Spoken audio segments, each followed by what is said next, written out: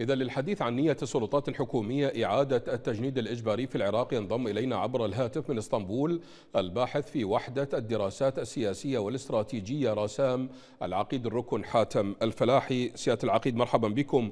يعني لماذا تعيد القوى السياسية كل فترة آه، تتحدث عن قانون الخدمة الإلزامية والتصويت عليه في البرلمان؟ آه، هل هناك حاجة فعلية سيادة العقيد؟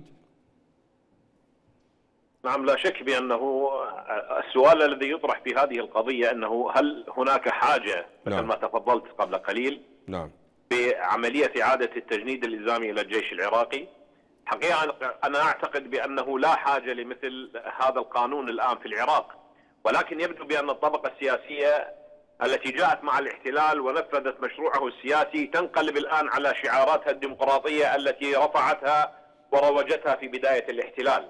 لأنه لا توجد هناك دواعي حقيقة لمثل هذا القرار، يعني لا توجد هناك تهديد مباشر للأمن القومي العراقي لكي نقوم بتجنيد هذا الأعداد الكبيرة من من الشباب. ولا توجد هناك أيضا يعني دواعي سياسية تج يعني تكون مثل ما نقول أن بانها تكون آه، مجبرة على للطبقة السياسية على تبني مثل هذا القانون.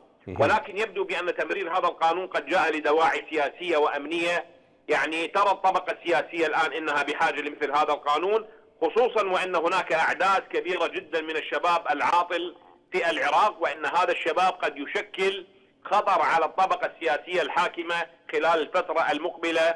فلذلك لابد من إيجاد باب وتخريج لهذا لهذه القضية من خلال دفع الشباب إلى التطوع في الأجهزة الأمنية أو إلى التجريد الإجباري التجريد الإلزامي. لكي يؤدون مقابل مبالغ مادية تصل من 500 ألف إلى 700 ألف. ولكن سيادة العقيد هم يقولون آه، يعني عملية آه، التجنيد الإلزامي أو الخدمة الإلزامية هي جاءت من أجل تحقيق التوازن داخل المؤسسة. يعني بعد عشرين عاما اعترفوا والتفتوا إلى مسألة التوازن. هل هذا حقيقي؟ حقيقة يعني هم هم يروجون له الكثير. يعني هم من ضمن الترويج أيضا ليس التوازن فقط وإنما القضاء على الطائفية وما إلى ذلك من شعارات.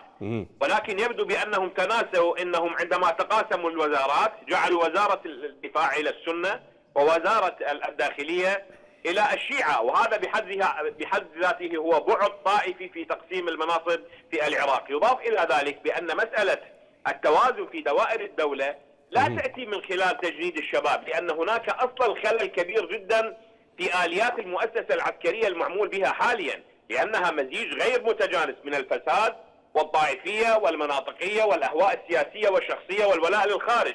وهذا الأمر يجعلنا نقول بأنه يجب على الحكومة أن تقوم بإعادة بناء المؤسسة العسكرية والأمنية على أسس رصينة وصحيحة تكون فوق الميول والاتجاهات السياسية والمحاصصة الطائفية التي جاء بها الاحتلال.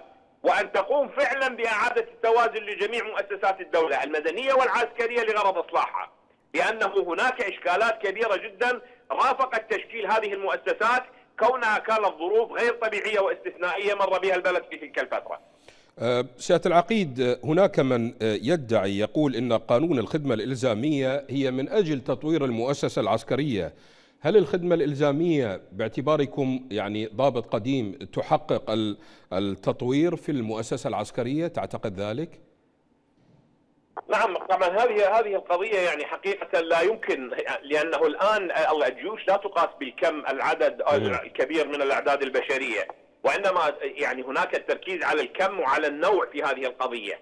أما أنك يعني إذا جئت الآن إلى المشاكل التي يعاني منها أصلا الجيش تجد بأن هناك إشكال حقيقي بأن هناك لا توجد قوة بحرية، لا توجد هناك قوة جوية، لا توجد هناك منظومات دفاع جوي. ورأينا بالفترة الماضية كيف قامت إيران بتدمير قرى كاملة في شمال العراق في كردستان، فإذا كان يعني إذا كان الجيش يعني بهذه الكيفية كيف لك أن تأتي بأعداد بشرية لتطوير الجيش وأنت أصلا تعاني من نقص شديد في القدرات العسكرية والقدرات النوعية، يعني نحن بحاجة إلى أسلحة متطورة نعم. نحن بحاجة إلى إلى إلى إلى آه، قوة جوية متطورة إلى قدرات عسكرية نارية تعوض عن النقص العددي في مثل هذه القضايا أما مسألة إنه الجيوش الحديثة الجيوش الحديثة لا تبنى على الكثرة العددية ولكن تبنى على التطور النوعي في القدرات العسكرية سيادة العقيد يعني آه، آه، ماذا عن دور الميليشيات في هذه الخطوة؟ إن تمت كيف ستتعامل مع هذه التطورات؟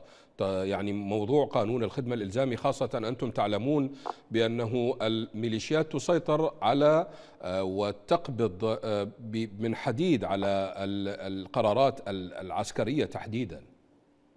نعم حقيقة الإشكال ليس في الميليشيات فقط وإنما في البيشمركة أيضا نعم. يعني القائد العام للقوات المسلحة لا يمتلك صلاحية لتحريك جندي واحد في كردستان العراق يضاف إلى ذلك بأنه ميليشيات الحشد الشعبي الآن التابعة لإيران ليست لدى القائد العام للقوات المسلحة أي سلطة على تحريك هذه هذه القطاعات لأنها تأتمر بأوامر خارجية وبمرجعيات دينية علما بأنه مثل ما تكلمنا بأنه إذا ما جئنا إلى مسألة الجيوش الذكية بقدرات تسليحية تكنولوجية نوعية متطورة. يجب أن تمتاز القوات بالمهنية والحرفية والعقيدة العسكرية الصحيحة والقدرات التدريبية العالية والقوى النارية وقابلية الحركة وامتلاك قدرات تسليحية متطورة.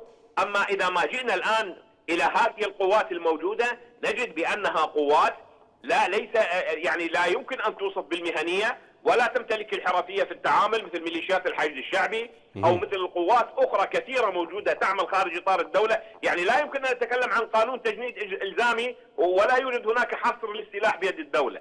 هناك إشكال في أن هناك مراكز قوى متعددة. ورأينا القتال الذي جرى في المنطقة الخضراء قبل قبل أكثر من شهر ما بين ميليشيات مسلحة عندما وقفت القوات الأمنية تتفرج على كيفية قتال الميليشيات فيما بينها، وإذا ما أردنا أن ننتقل إلى ديالة إلى قرية نهر الإمام رأينا كيف تم تهجير قرى كاملة أمام القوات الأمنية التي وقفت تتفرج على كيفية حرق الدور المؤسسات التعليمية والصحية في هذه القرى.